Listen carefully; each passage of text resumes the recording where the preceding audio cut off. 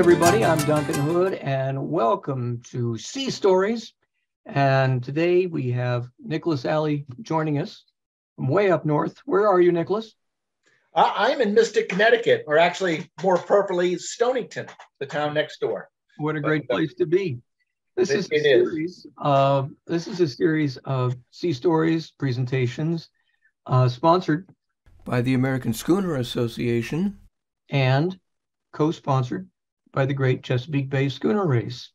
And our emphasis is on finding out about the movers and shakers in our industry, how they got there, and learning a little bit about their lives. Having said that, Nicholas Alley has been a fixture, if you can believe that. I'm using that word, Nicholas. A fixture. I'm impressed. In the sailing world. I've been waiting to use that phrase forever. And uh, I've crossed paths with Nicholas many times over the years. The one time I really remember was about seven years ago, Nicholas. I was in Mystic and you said, let's go to lunch. And I said, great, where? And Nick, Nicholas goes, there's a fish fry at the Portuguese Holy Ghost Society. And I thought it was such a great name for a place. I said, well, count me in. It was great fun. Super duper. It, it definitely is a, a local regional event. Uh, very much beloved. It really, really is. Now, just a couple uh, ground rules, ladies and gentlemen. We cannot see or hear you during the presentation. However, we are running a Q&A, so a question and answer panel. If you look at the bottom of your screens, you should have, excuse me, a Q&A uh, emblem right along the bottom. If you click that, you'll be able to type in your questions for Nicholas. Excuse me. Yeah, there we go. My chat is disabled, I see. Let's just take a look. Okay. Chris Lundberg, everybody. Okay. I'm going to have to figure out how to work chat while we go, panelists, attendees. All right, guys, try that chat one more time, if you wouldn't mind. Let's see if we get anybody in there. Yep, got him. Thank you, Chris L. And uh, artist says, okay. Fantastic, very cool. All right, ladies and gentlemen, having said that, uh, I'd like to uh, present you with Nicholas Alley, who has sailed all over the place, and he's got quite a career to tell us about. So thank you very much, Nicholas. Take it away, my friend. Oh, Share screen. You, Duncan. Let me just go ahead and get myself set up and shared screen here. I got that part right. Nice. And now I'm going to go to presenter view. I'm oh. saying these words, everybody, because Duncan has been teaching me all of this, and he has not mentioned that the only reason this is happening is because he has the technical capabilities of making it happen and dragging me along with it. It was a great drag.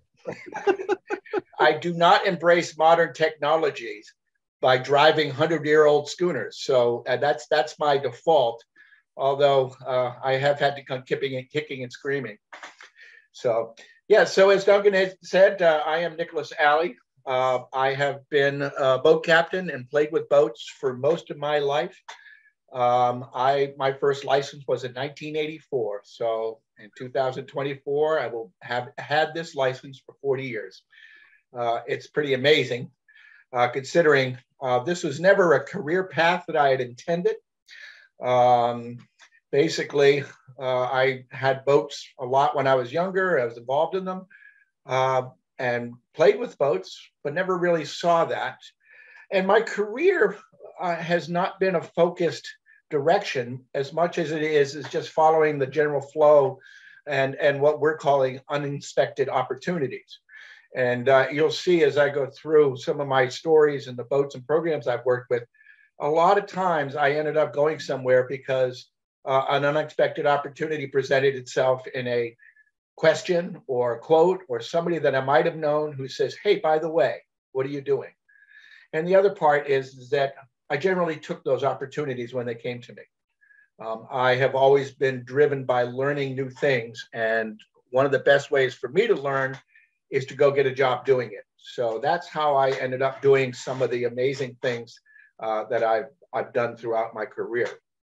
Um, as I said, I did was played with boats when I was a young man. My father was a boat person.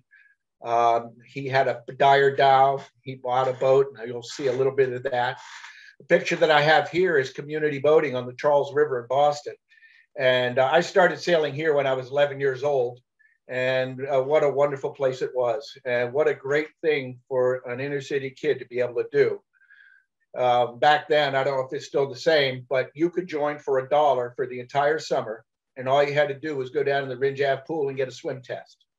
And then once you came in, they taught you everything you needed to know. You would go ahead and get your skills and test up and settle in and get your various ratings. Uh, and most of the boats we used were what are shown here, the Cape Cod Mercuries, uh, built down there in Cape Cod, Massachusetts, indestructible. And they had, it seemed like a million of them. Um, they also have evolved quite a bit over the years, and they had 420s and much faster boats, and you could go ahead and train on those and get to know those. What really helps keep the programs going at community boating is certainly uh, donations, but also the adult programs. And uh, they pay a little bit more than a dollar to sail with community boating. And of course, there's a lot of outside funding. I send them a check every year because uh, it, it, it meant a lot to me to have that as being part of my life. The other part of my sailing background was right here in Esther Hills Boatyard at Chelsea, Mass. Uh, and as you can see, it was not necessarily a modern marina style boatyard as much as a old working boatyard on Chelsea Creek, which is where most of the oil and fuel comes into the Boston area. Uh, what you see there is a hull that has been recently turned over right side up and uncovered. And you could see the plastic covering in front of my, my dad's old Saab. And that is Polly. And Polly started life as a 25 foot Navy launch, a, a, wooden motor launch, open deck and everything. And uh, the first year he bought it, he paid $250. He put a star rig in it, and we went off sailing around Boston Harbor, uh, quite adventurous to say the least. Um, and then we brought the boat back, pulled it out of the water, and it sat in Esther Hills for about nine years. And that Navy launch turned into what you can see here, the beginnings of the boat.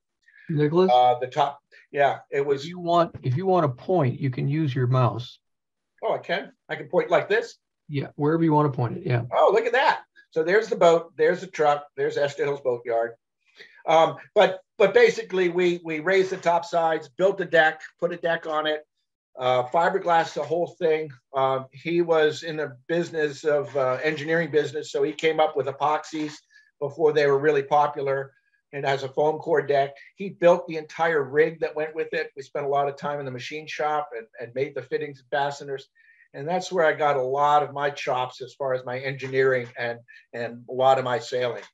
Um, Esther Hills is one of those boatyards that nothing grows. And you can see there's not a tree or a plant in sight uh, but it was certainly part of my youth, and so was it sanding fiberglass.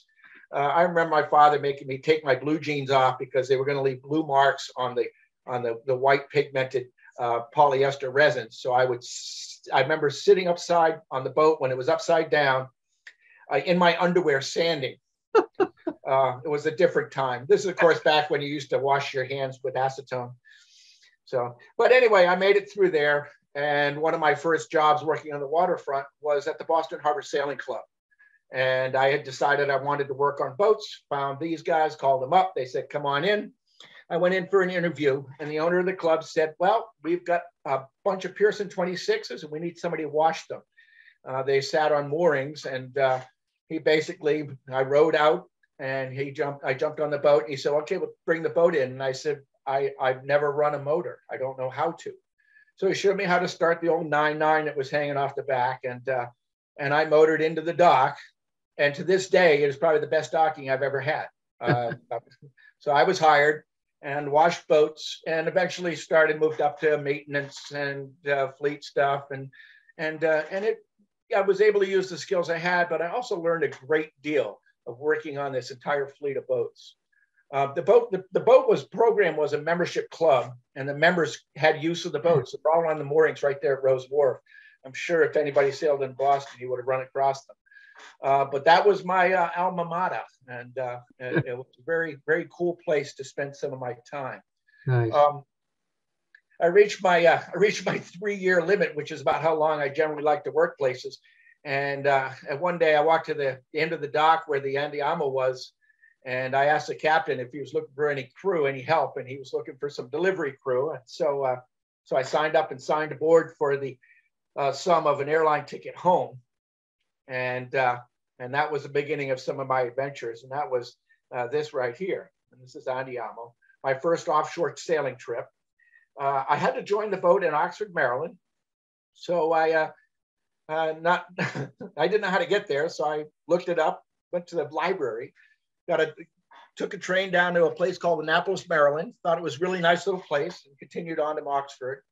And we left from Oxford and uh, passed through the Virginia Capes, and I started getting seasick.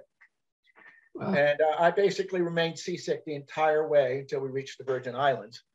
And uh, pretty much some people would have thought that that was pretty much the end of my sailing career, but I'm a little hard headed. Um, and my watchmate the first evening when the captain said, I don't want him on board, want, it, want I, you know, I don't want him up on deck. Scott said, no, I do. I want him on deck and he has to come up. And he, and we, and he talked with me about getting seasick and how it's part of the business and you have to get over it and work your way through. And that, I, I still remember the man's name, Scott Velargo. And that seasick talk probably saved my career because I still get seasick. And I, I the stuff that I learned that night uh, from Scott was just what keeps me going. Nice. You know, get sick, make yourself better, work as hard as you can. When you stop, when you're going to throw up, stop, throw up, get back on there.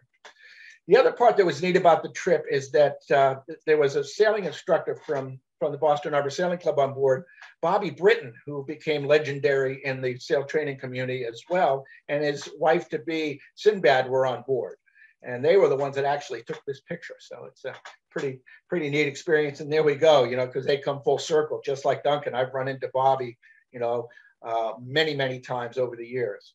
Hey, Nicholas. Yep. Let's move your mouse to the right and just get it off the screen for now. Oh, okay. Sorry. Go. Good. All right. So, uh, so I ended up in St. Croix, and uh, I was walking around and saw the Annapolis Sailing School. Was kind of looking in the fence, and somebody came out and asked me if I could help them. And uh, and they said, and I said, no, I'm fine. They said, are you looking for a job? And I said, what do you got? Uh, and that was how I ended up working with the Annapolis Sailing School. Uh, I took the plane home the next day, saw my mother. She said, How was it? I said, Great, I'm going back in two weeks. And that was the last time I lived in the city of Boston. Um, I, I started teaching basic sailing on rainbows. We did, we had five O'Day 37s that we would maintain, and they would go out on week long cruises. I wasn't part of those, but I was part of the transits between Annapolis and St. Croix every spring and fall. And we would take three boats in one shot, uh, sail them up uh, or down as required.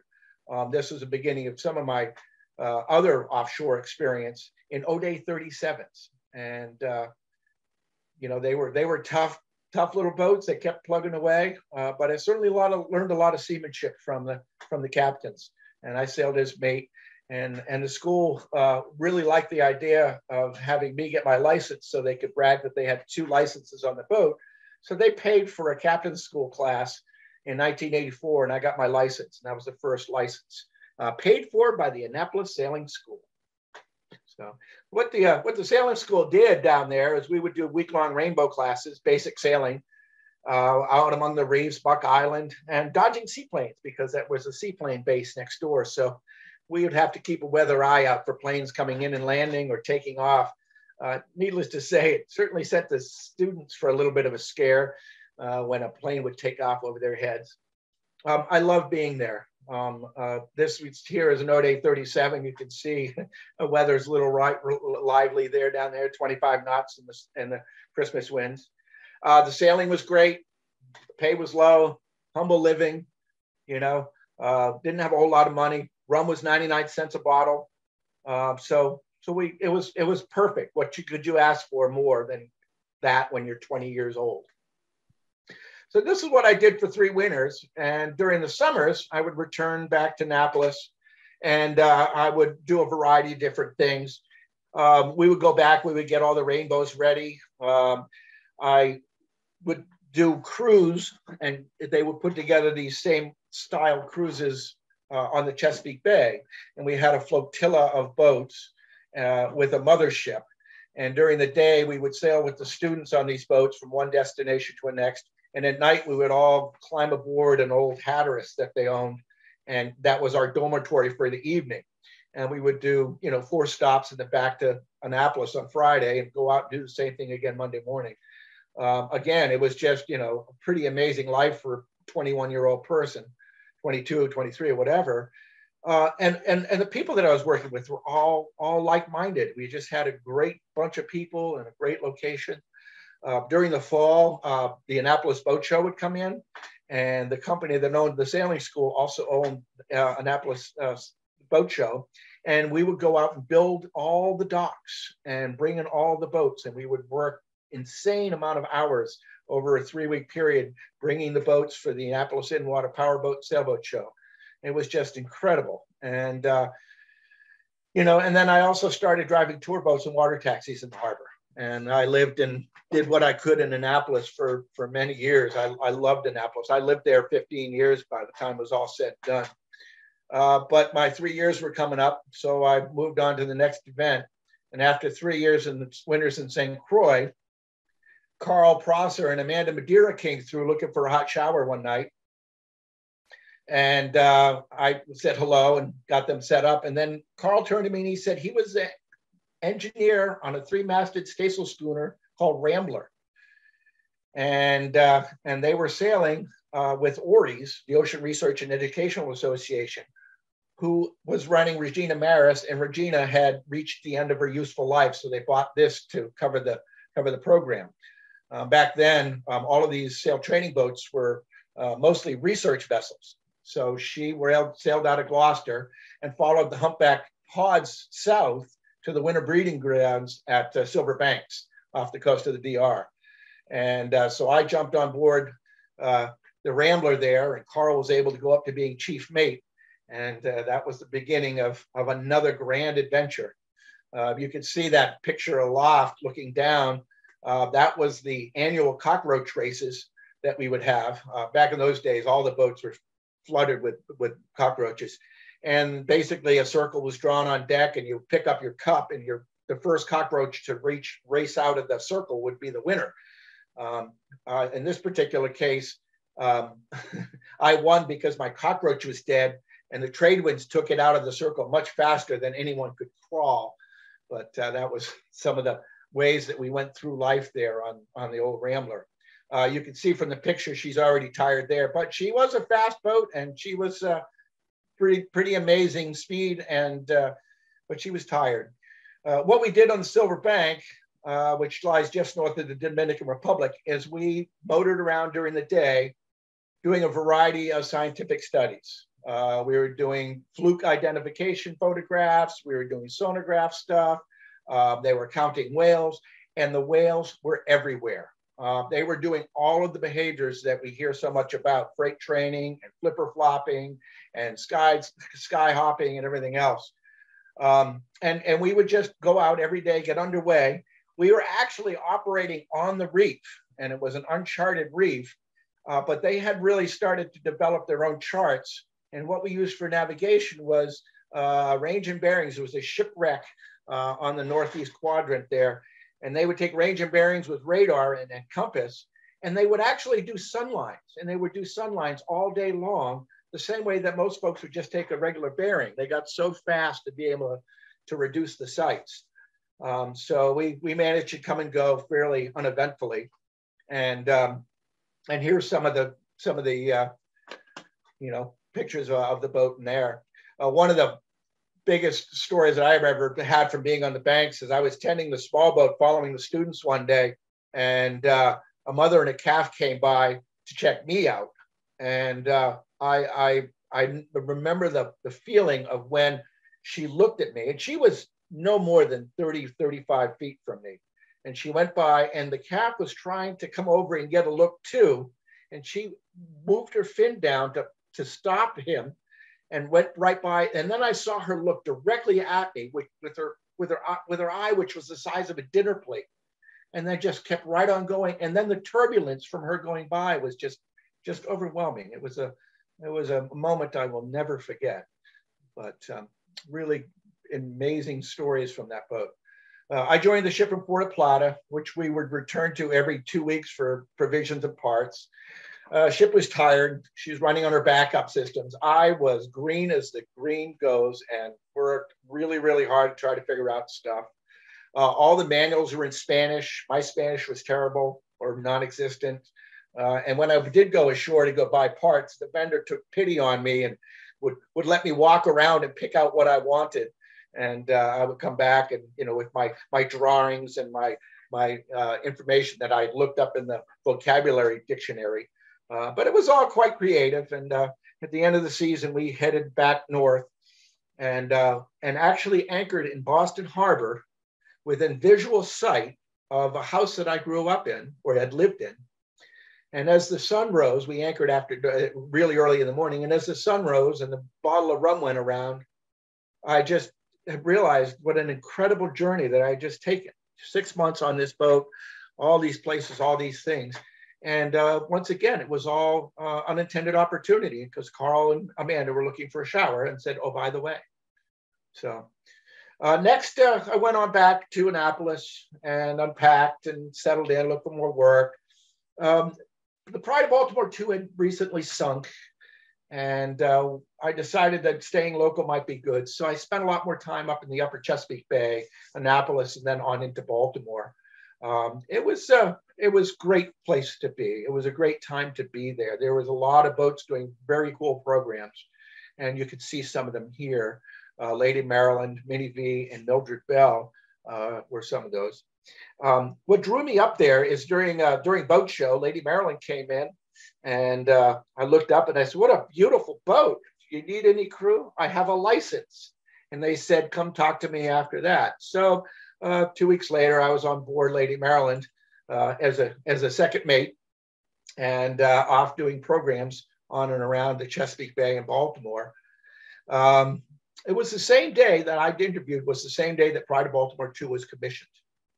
And uh, I sailed for the one season as, as made on, on Lady Maryland. And then they bought Mildred Belle, which is the Chesapeake Bay buyboat. Uh, and, uh, and that's her right here. And uh, I was her first captain and worked the season on her as well. And she was perfect for the nooks and crannies of the harbor. Um, you know, when Lady Maryland gets set sail and go sailing around and do wonderful, wonderful things that way, we were the ones crawling into the corners and doing trawl nets and water quality tests and uh, uh, dealing with the radios. We used to go alongside the, the U.S. naval ship Comfort, the hospital ship, and we would get close enough so everybody could reach over the side and actually touch the ship. Uh, which gave you a great idea how big she truly was when you were right that close to her. Um, but it was it was wonderful, and it was here that I realized how much I liked working with kids and boats. It just made so much sense. Boats are wonderful; they can be boring on long trips, but you add a bunch of kids, you know, a school-sized group, and it can turn into chaos and a lot of fun. And that's what we we went through. Um, that was the Living Classrooms program, or the Lady Maryland program, which now then became Living Classrooms. So these are a couple of pictures uh, of me as a young man. Uh, that's me with all my hair at the helm of Lady Maryland. And uh, here I am explaining some water quality to a student uh, who was looking kind of befuddled as we tried to figure out the salinity and, and all the other things that uh, went, went on with, um, you know, some of the programs that we did. So, but I stayed with them for a couple of years uh, doing that. And then I had the opportunity to sail on this boat here. And this is, uh, this is Minnie V. Minnie V is a 1906 Chesapeake Bay skipjack an oyster dredge boat, and it was owned by the city of Baltimore. Um, they operated it, it, in the in the winter. She dredged oysters. It still went down to Tilghman, Tilghman Island, and Johnny Motovidlak would would go out and drudge, drudge with her.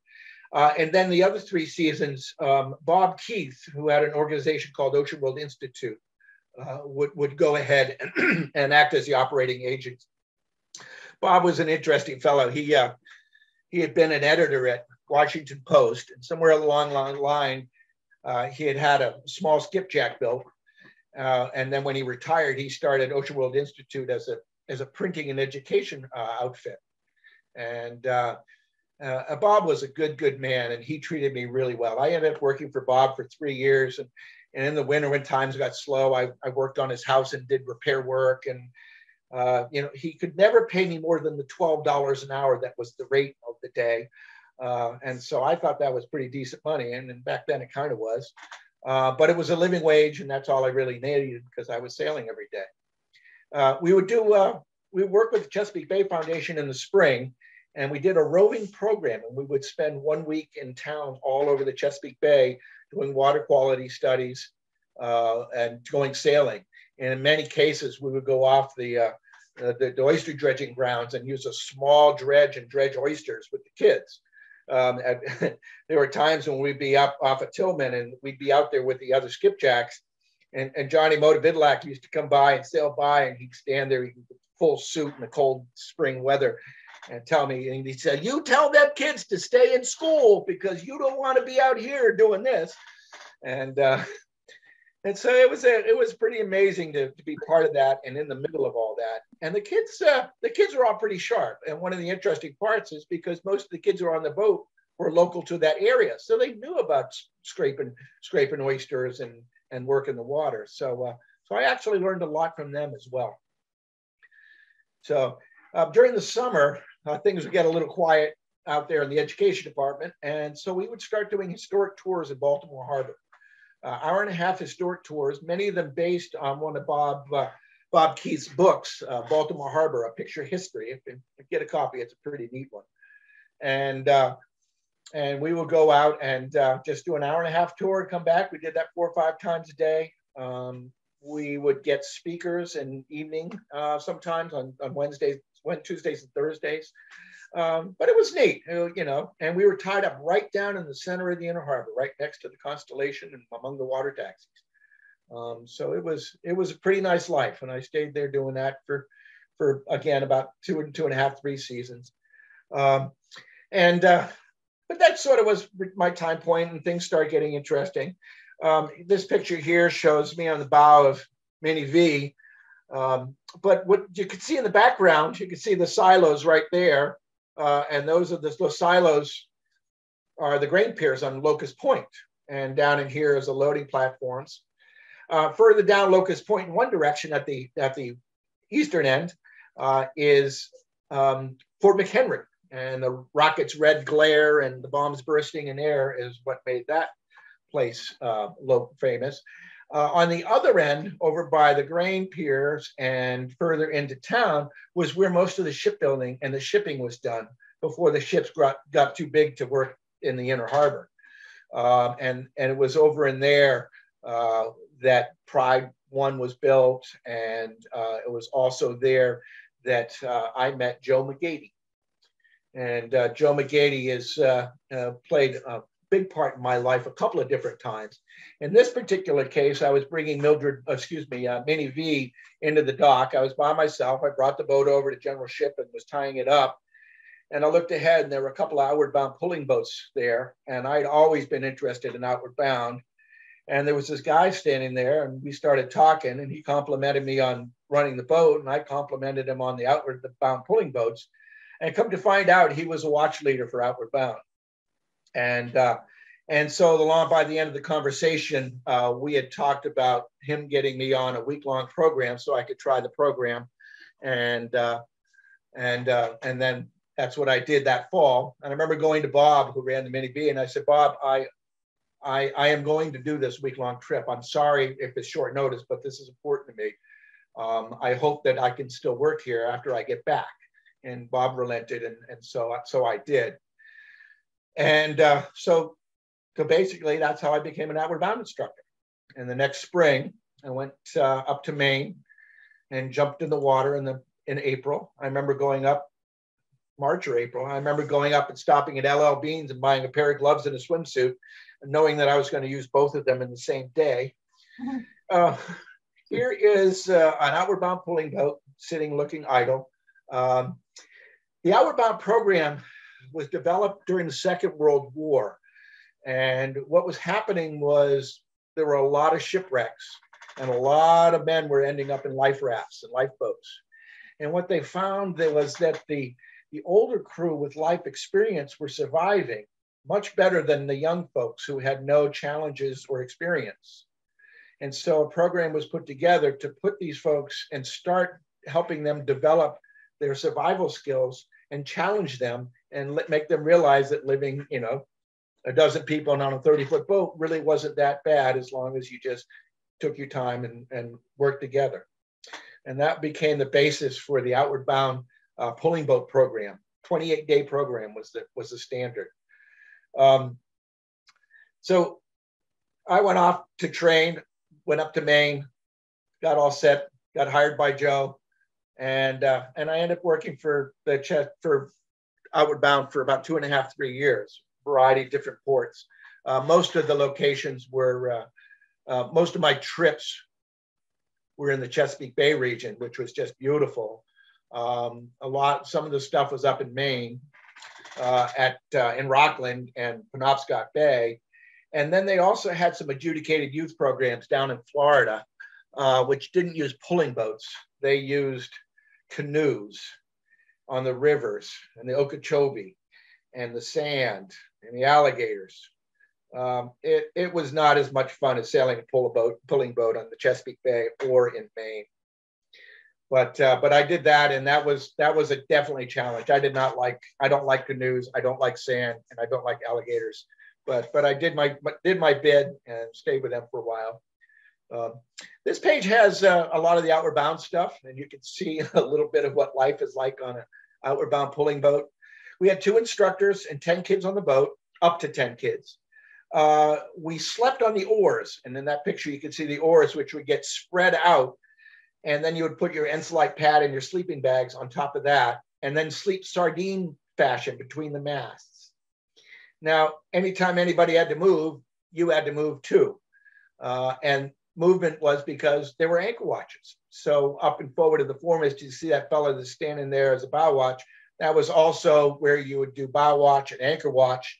And there was also a nice little seat there, uh, a wooden bucket, excuse me, a wooden box that held a five gallon bucket.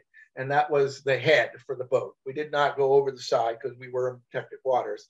And so we carried a number of those buckets that would fill up and then be capped off and duct taped uh, to help we get rid of them and down below until we got back to port. Um, some of the other photographs, you can see that we actually had sails up when we're sailing. Uh, Chesapeake Bay in the summertime, not a lot of breeze, a lot of rowing, a little bit of sailing. Uh, but we still did a lot of our challenges and, and, and working with the outward bound groups. The instructor's job was not only to keep them alive and safe and feed them, but also to help with their education. And Outward Bound is big on learn by doing and also making people figure out stuff on their own.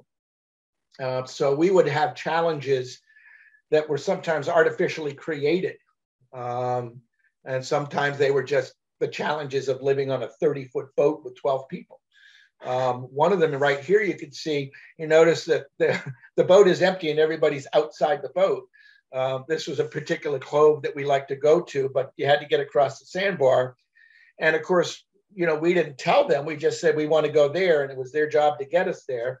So they would run aground on the bar, and we would sit down and go, "What, what, what can we do? What can we do?" And they would sit down and process it, figure it out. And eventually, one or two kids would get out and start pushing or try to sound for deep water. Uh, and then eventually, everybody would figure out they had to get out and push the boat over the bar, which they did here in this photograph and then they would proceed on into uh, uh, into the cove. Some of the other challenges we would present would be the famous uh, blind sail. So you would take two people, one would be blind and could do things with a blindfold, of course, and the other person could tell them what to do, but couldn't do anything. So these were some of the activities. We I, we used to take the rudder off and let it fall off the back of the boat when they were sailing, and then they had to go back and figure out how to get it. We used to do all kinds of things. Uh, one of the most challenging things, however, was actually the morning dip. And every morning, after you would clean up and get your gear put away, before we would go any further, we would everybody had to jump off the boat and into the water and get back on the boat. And uh, part of it was just a challenge. And then, of course, part of it was a cleanliness thing. But uh, that was one of the more challenging things, especially in some of those cold spring or fall mornings. Um, but that was part of the outward bound culture, and that's what we did. So it was a, a lot of learning by all uh, there. During the winters, I was doing this uh, in the summers, and during the winters, I started uh, sailing on Spirit of Massachusetts. Same thing. Spirit came into Baltimore one day. I looked over and I said, "Oh my goodness, what a beautiful boat!" I looked up, and an engineer popped his head up, and he had been an engineer in another boat, and I knew him. And I went, "Oh, hey, how you doing?" And uh, he introduced me to the captain, and the next thing I know, I was signed on as crew on board the Spirit of Massachusetts. Uh, Spirit's a replica of a Fredonia style fishing schooner, uh, and she was built in 1986. Uh, great, beautiful boat, great sailor, a um, lot of history, and a lot of great people involved with the boat. Uh, I joined in 93 as uh, for SEAmester as a third mate engineer. The boat sailed under a variety of different owners, but she'd always been sort of a sail training boat, and that was her process. Uh, the program that I started working with was a SEAmester program, which is a 12 week college accredited program and uh, run by, it was run by Long Island University. And basically it would start in the, in the, uh, in the, in the fall in New England somewhere, sometimes Boston, sometimes Gloucester. And then we would head south to the Caribbean and, and, uh, and stop uh, every three to five days to do education programs ashore. Uh, there were two professors on the boat. Um, and uh, one of them, Doug Hardy, is a legend in the industry. And he, he had a way of developing uh, amazing programs that, that, that were very challenging and kind of goofy and silly at the same time. Um, you know, we would do we would do the obligatory water qualities. We would we would catch the lugworms off of the Hampton coast. We'd go to the Mariners Museum. That was always neat. We would go down to Florida before we would jump off to the the, through the Bahamas out of Florida in St. Mary's, Georgia. And we, they would go to the Okefenokee swamp and, and, and run through there for a day. Uh, we would go out through the Bahamas and we would stop at the uh, islands of, uh, particularly the out islands, like uh, where Morton Salt is from, um, Rum Cay, which has the largest flamingo flock in the world. And we would do the wade of the upper lip in which case we walked across an abandoned flooded salt plant until we, the water was up to our upper lip. Uh, or, or in Inagua, we would go to the cave of indescribable horrors and crawl through the bat crap to get down into the tunnels underneath that in, at this time at high tide were flooded. And we would go down in through there, swim in the flooded tunnels. It was, it was unbelievable. And Doug had dozens and dozens of programs like this. He did the program for close to 25 years. So and then the same thing on the return trip north. During the winter, we would just go ahead pick up whatever work we could, um, and uh, that was usually week long programs. Uh, later on, uh, but we, we, they took over the Gamage as well, and that was the beginning of Ocean Classrooms program. Uh, we continued to do the SIU LIU uh, SEAmester program, but uh, there was another program that was developed called Ocean Classrooms, and Ocean Classrooms was similar to SEAmester, but it was done for the Proctor Academy, and it was high school program. And uh, so the boats did both of that. And then later on, uh, she was joined by the uh, um, uh, by schooner Westward. So those were the three boats that Ocean Classroom had at their high point. Um, meanwhile, I had decided I wanted to go back and work with troubled youth, and uh, I got a billet on the Harvey Gamage. Uh, correction, excuse me, the Bill of Rights and my notes say that she was built by the Harvey Gamage Yard in Maine. Uh, she was well known in the Newport area around where we are right now, Long Island Sound. Um, and uh, she had sailed out of Newport, and a lot of the, a lot of the folks my age remember her sailing or sailed aboard her back in the early days. Um, where I got to know her is when she was being run by an organization called Vision Quest, and they work with troubled youth uh, kids in and out, so mostly adjudicated youth, as, as an alternative to jail and life in Philadelphia or the cities. Um, they it was kind of a hoods in the wood program. Um, they lived in teepees. They they they embraced a lot of the Native American culture, uh, which seemed to work really well with this groups. And uh, and they had they, you know they had the, a wagon train which would transit up and down the East Coast, you know, at two miles an hour south in the summer, south in the winter and north in the summer. Um, uh, it was a it was a very interesting program. And and where I came in is they had two boats. They had the Bill of Rights, and they had the the Western Union, which was a cable laying ship out of Key West, and they renamed it the New Way. And basically, the two boats would transit the East Coast up and down Newport to Florida, Maine to Florida, uh, and they would do a high school program on board with with a, with high school teachers. So these kids could earn their high school diplomas. Um, it, it, it, was a neat program. Uh, they had uh, there was a sailing staff and there was a treatment staff, and and and certainly there was some overlap. But basically, the treatment staff worked with the education and the discipline and the structure for the kids. And then when we were sailing, the kids would come work with us and and work and sail the boat. Some of the kids have been on the boat for a long time, six, seven, eight months, which is a long time on a schooner. Uh, but it was it was very neat. It was a it was a neat program. Um, it was my first schooner command, and uh, it was a challenge, but certainly not overwhelming. Uh, and I did enjoy the work, and it honestly felt like you. Know, I got some great pictures I wasn't able to put in the slideshow of the kids who seemed to seem to really embrace it somewhat. But uh, we would get the, we would be tied up to a dock, and some little blue-haired old lady would walk up, and she'd say, "Oh, this is wonderful! This is so incredible! What a beautiful boat, young man! What do you do? Have what do you? How did you get on this boat? What do you have to do to get on this boat?" And he would look over and say, "You got to get arrested, lady," you know. Um, but uh, they embraced it. Their favorite thing was to do a laundry on Sunday because they actually got to go and sit in the laundromat, and that was their highlight. Um, uh, they thought the sailing was a bunch of work, but it was fun. It, it was good. Uh, I think it was a great program. And uh, uh, it was also here that I met my wife, Diane, who was the cook on board. And uh, that story still continues to this day. Um, the next boat, I don't think anybody will have a hard time recognizing this, especially since I put the name right there. Uh, Pride of Baltimore 2. Um, I sailed as chief mate uh, and got on board in the spring of 97. Uh, it was it's a, it was a top line boat of the day. I mean, she still is pretty much a, a, an amazing boat and considered a, a piece of the piece de la résistance.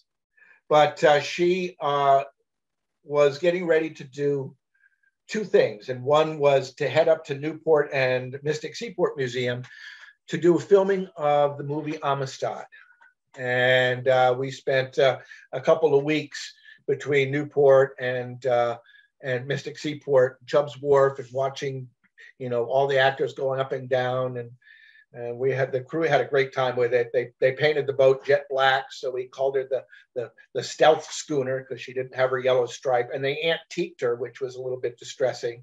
Um, because uh, that antiquing paint did not wash off the way they said it would. Uh, but it was really amazing to watch how they made the movie and be, especially be part of it. Um, there are people that I know that are in the movie, but they're usually like hidden underneath the canvas on deck. Um, Morgan Freeman said to Sam Fixman, "You want to be in the movie? Yeah, go over there, get underneath that tarp, pull it over. You'll be in the movie." Um, uh, and then after that, we continued on and we we joined the American Sail Training Association uh, Great Lakes uh, tour that year and went to a variety of ports all up and down the Great Lakes and showed off the boat and the spirit and the engine engineering and everything else. So it was it was pretty neat. Uh, the next image here is of two favorite boats. One is the Pride of Baltimore 2, and the other one is Virginia. Excuse me. um, this picture was taken about three miles off of Virginia Beach. It was uh, 2007.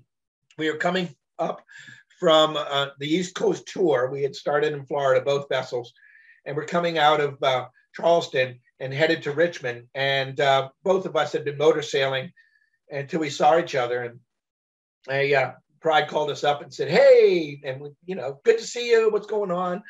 Uh, do you have any ice cream?" And we actually did have ice cream, so we loaded it into a skiff and sent the boat over to deliver it to Pride. Uh, and then both boats, it was a light breeze day, uh, both boats started setting sail. And we set more and more sail until you could see that both boats have every stitch of canvas we have. And we started sailing around in a little ballet, sort of follow the leader thing, about three miles off of Virginia Beach, because we had some time. We didn't have to be in Richmond yet, and uh, it was it was a phenomenal uh, crew moment.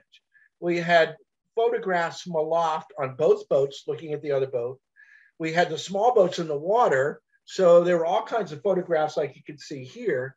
And, uh, and it was just a really, really neat afternoon. And, and one of the things we did learn from that is that Virginia actually has a turn of speed over Pride on certain points of sail. And it was the first time we'd seen that. And that was really, really exciting. Uh, and uh, so, but anyway, we the day started to get later, and so we cut loose and started sailing for home. And we were headed to Richmond, and we went up through the Chesapeake Bay Bridge Tunnel. Uh, Virginia had uh, we were wing and wing with both topsails set as we went through the Chesapeake Bay Bridge Tunnel with Pride right behind us. It was a it was a great sail.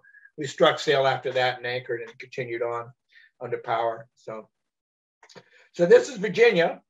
Uh, Virginia was built in 2000, launched in 2005, a replica of a 1917 schooner, a pilot schooner, uh, built on the Norfolk waterfront, launched in 2005. Uh, what I really liked her about her was that she had uh, she had a fishing schooner rig. I'm a fishing schooner fan after sailing Spirit of Massachusetts.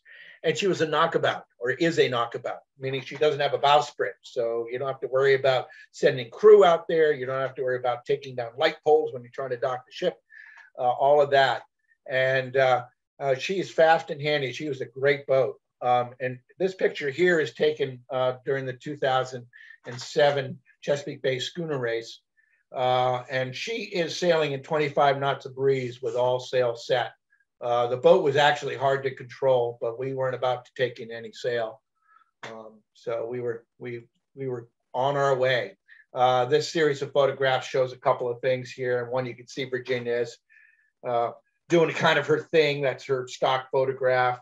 Um, the picture you see there with Pride behind us uh, was a picture that we had for the entire race. Um, Pride was there. They they would get closer. They would go try to go to windward. They try to go to leeward. Uh, but this was was was Virginia's day, um, and part of it was because we had just such an amazing crew. Hank Mosley was the mate.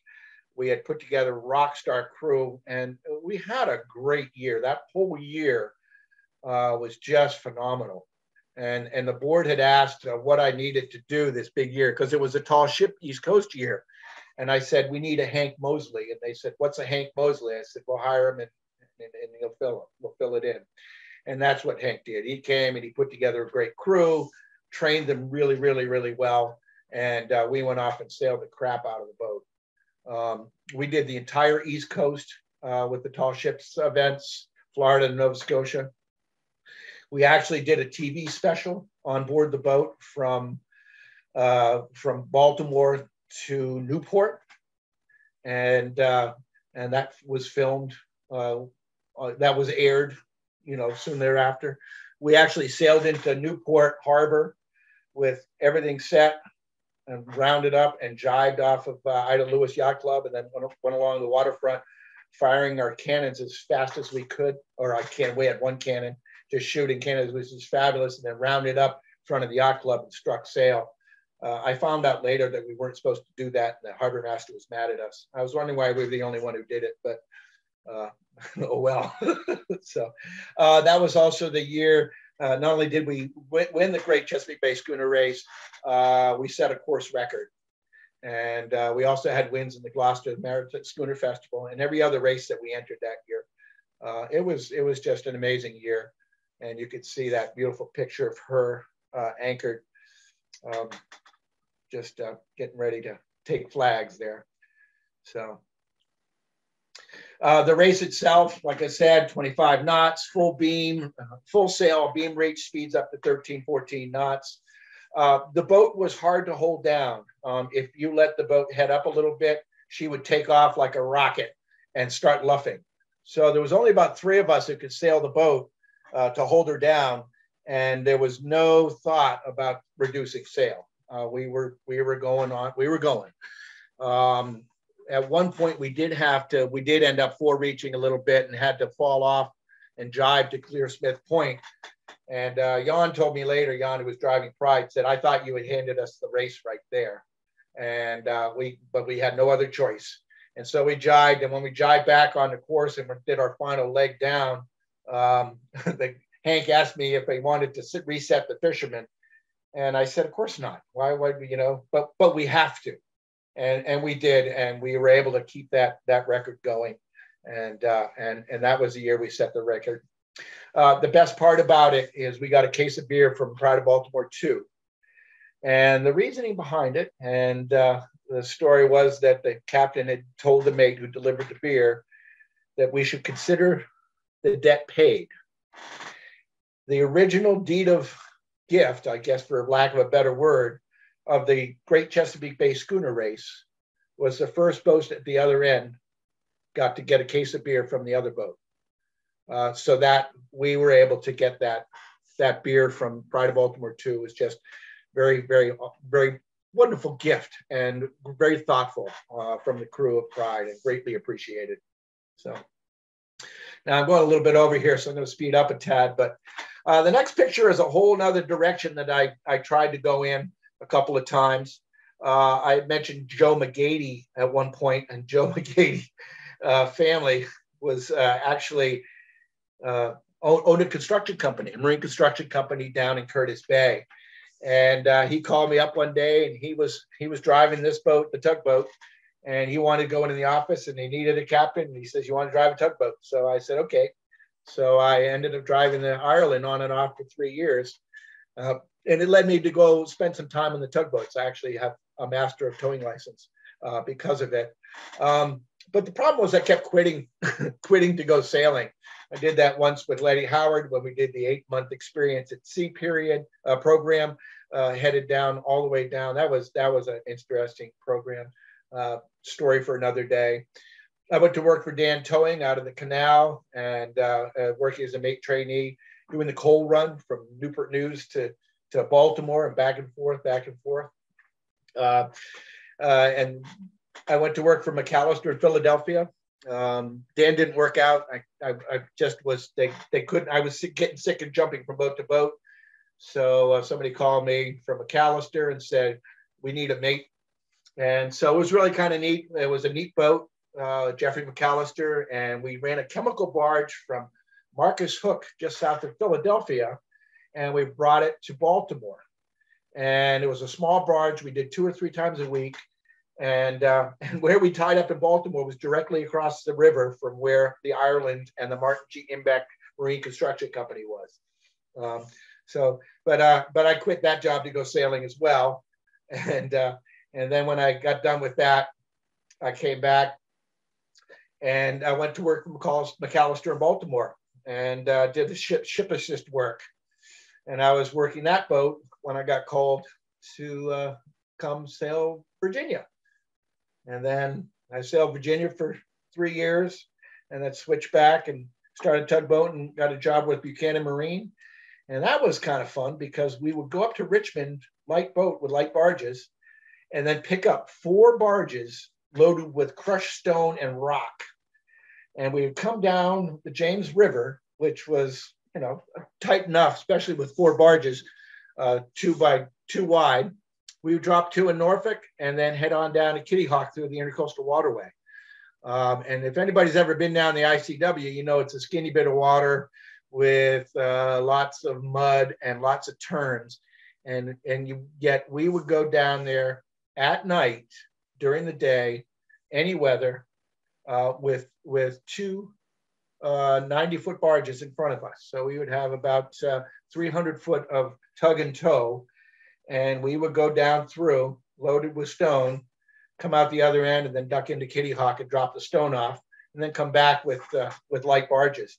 Um, it was very challenging work, and I, I learned a great deal doing it.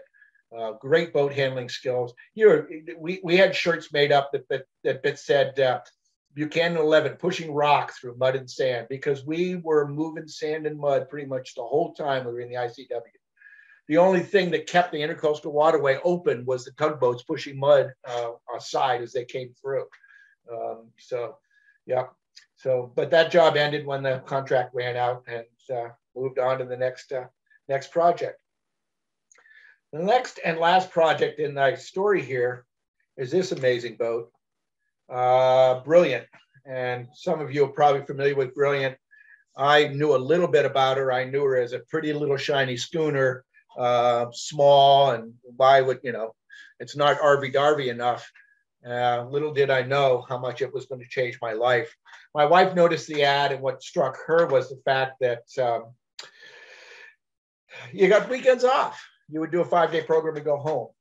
And, uh, and so we took the job. We moved up here to Mystic. Uh, and it has been a transformative experience as well. Uh, it's incredible boat. It's the longest boat I've ever been in command of. I, I drove her for seven years. Um, she has a great program, high school programs. Um, and, and again, I, I, even after I left Brilliant, I stayed with the Seaport for three more years. Uh, I, I, still run her every once in a while. I did a couple of trips this, uh, this last couple of years. Uh, I really love the boat, and she is amazing.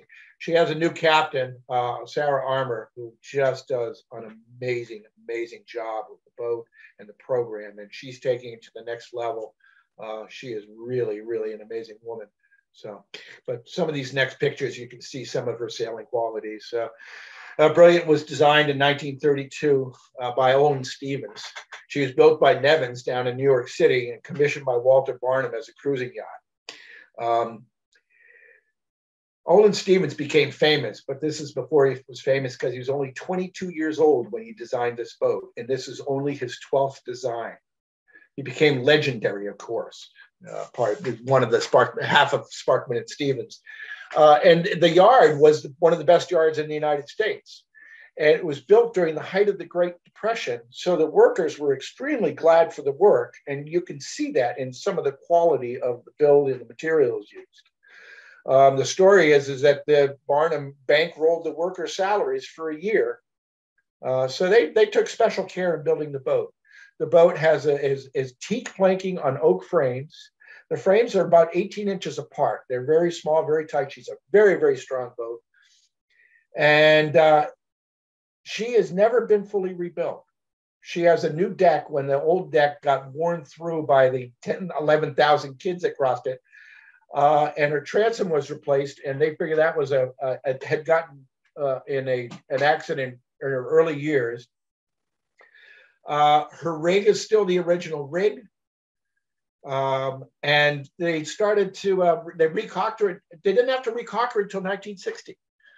Uh, 30 years, same caulking. When they started to refasten her, they stopped because they realized the fasteners they were pulling out were better than the fasteners that they were going to put in. So they just stopped there. And, and so she still refastened with the same fasteners. Um, an incredible story. Um, she she was never an old wooden boat sitting on a pier, so she didn't suffer that degradation. Um, you know, after the second, she sailed as a picket boat during the, the Second World War. After the war, Briggs Cunningham bought her, and he uh, wanted to do some racing with her. So he had uh, Sparkman Stephens design a new a new sail plan, and they raised the masts. Both masts got got heightened. Uh, I don't know exactly by how much, probably about 20, 20, 25 feet, something like that. But you can see in this photograph how tall the rig really is. Uh, there she is racing uh, at the Pat West Regatta in Martha's Vineyard. Um, he increased the rig height and uh, and took her racing. Um, Briggs also is known. Uh, I don't know if you know what a Cunningham is. The luff downhaul on a sail, that cringle, that uh, is known as a Cunningham, was invented by by Briggs Cunningham. But anyway, I, I sidetrack. Um, she's a great sailor. She's stable and fast. Uh, but unfortunately, schooners had really given given way to the modern rigs, the ketches and the and the and the sloops, and uh, uh, that were being taken taken over the racing scene. Um, so he had her down in at the Pequot Yacht Club in Southport. And, uh, he was taking local kids out sailing and, and and saw what what good it did with the with the kids, and uh, so he donated uh, Brilliant to Mystic Seaport Museum with a healthy endowment to keep the boat sailing, and that was in 1953. And the boat has been sailing every year, with the exception of one year during COVID. Um, when the uh, Seaport got the boat, uh, they converted they converted her Marconi main, her, her gaff rig main to a Marconi main, uh, made it a little bit safer, not having that gaff flying around, and of course probably helped her windward ability. Uh, the story is it did not help her lead, her off the wind ability, but but you know sacrifices have to be made. Uh, her programs are five and 10 day live aboard programs for youth 15 to 18 years of old. Uh, no experience necessary. Uh, actually, it's preferred that they don't have any, so you don't have to undo bad habits. Um, the, the Brilliant program is a lot like many of the sail training programs, and they're using the boat as a platform to teach life skills, to teach communication, responsibility, hard work. And to do that, you use seamanship and navigation and sail handling and watch standing and, and all of those things. You know, what makes a good sailor makes a good uh, citizen. And the skills that we teach on these sail training boats uh, translate very well to shore going situations. Uh, Brilliant program is one of the oldest sail training programs in the United States. And they figure that over 11,000 kids have crossed those decks. And that's, of course, why we had to replace the decks about 20 years ago. Um, Stability is the name of this boat's program. Uh, she uh, has just been doing the same thing for so long uh, that it's just perfect. Um, her captains have a tendency to spend a long time on board. When I joined the boat in 2012, I was only the fifth captain to join to sail Brilliant as a captain since 1953. And that's testimony to an amazing boat and an amazing program. And, uh, you know, she is one of the formative boats in my life experience as well. So, but anyway, um, I've reached the end of the slideshow and, uh, and have reached the end of my talk. I hope you don't mind that I went over a little bit. My apologies. Um, the last slide is kind of what I'm doing now. Excuse me. I left Mystic Seaport Museum uh, last December and started my own business, uh, Nicholas Alley Marine. And basically, I'm doing the same thing, but just uh, under a different uh, program. So, uh, captain for hire, education program development, private instruction. And uh, I, I, the first years uh, seems to offer a lot of lot of hope. We we found some great programs to be part of, and a lot of great boats to sail. So uh, we'll have more on that later. Maybe we'll have that as another presentation. So um, I want to thank you all for your patience and for tuning in tonight. And uh, I think we have a Q&A after this. And I guess that's what I got. So thank you very much for listening.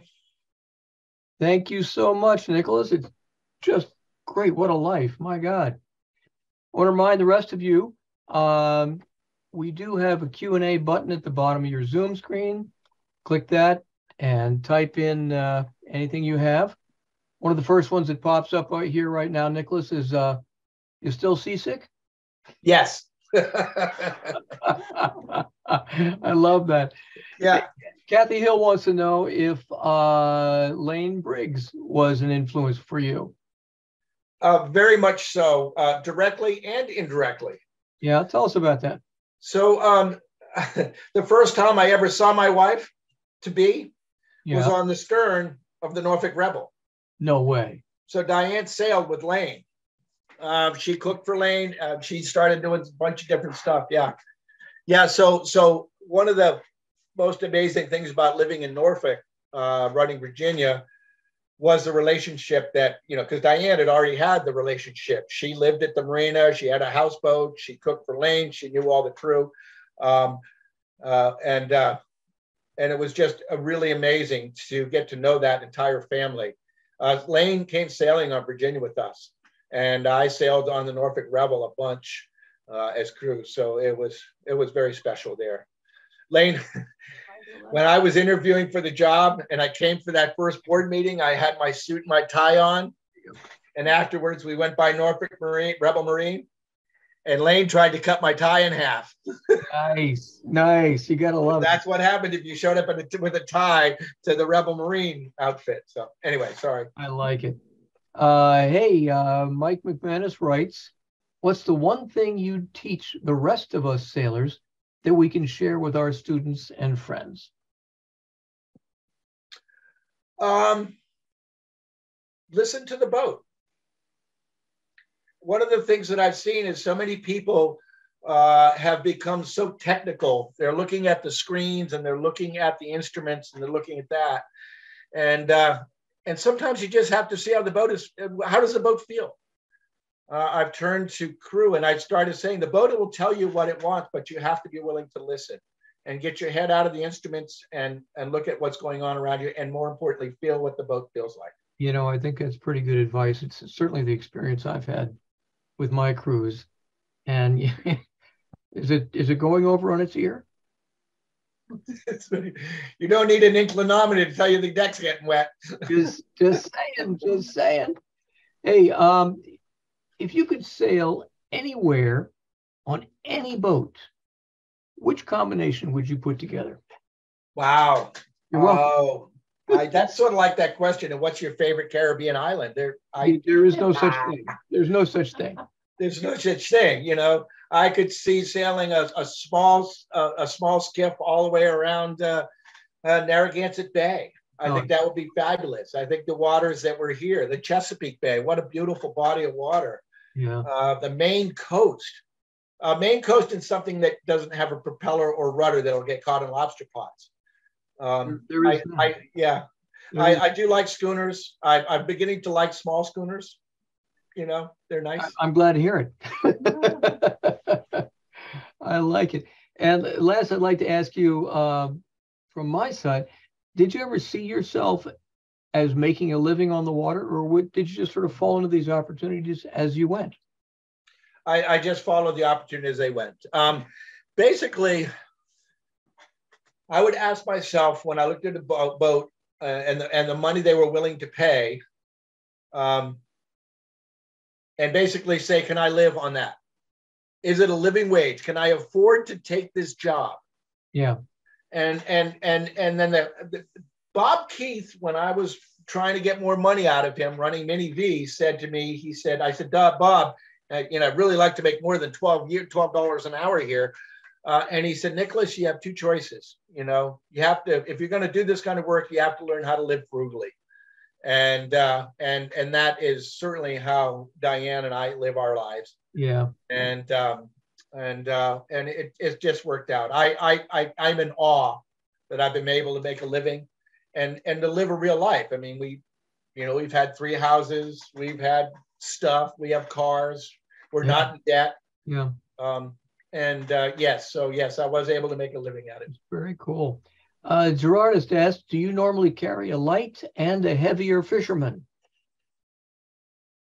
No, no. Um, as a matter of fact, I, I was not ever cognizant of having more than one fisherman neither, neither until I sailed on Brilliant. Brilliant has two fishermen, but they're identical, so you can tack them real quick. Nice. That pisses people off. I totally love that. Well, looks like uh, anybody else. Uh, we got any more questions coming in? Great. We have still got 36 of you who have hung in there, and I want to thank you all very much for joining us tonight. I would encourage you to visit the American uh, Schooner Association website, amschooner.net, or the Great Chesapeake Bay Schooner Race website, gcbsr.org and uh, learn out a little bit more about our programs. We would love to have you come along and help us out whenever you could. This series is about the movers and shakers in our world, in our industry. And if you all have any suggestions of who might make a great speaker, because certainly I can't know everyone, please don't be shy about shooting me an email. At the same time, feel free to shoot Captain Nicholas an email. He's done an awesome job tonight. And Nicholas, I want to thank you so very much for your time and all of you for joining us tonight. Thanks, everybody. Thank you, uh, Duncan. I really appreciate all your help. That worked out really well. All right, guys. We're going to hang up. Nick, I'll pick you up offline. All right. Very good. Bye, everybody.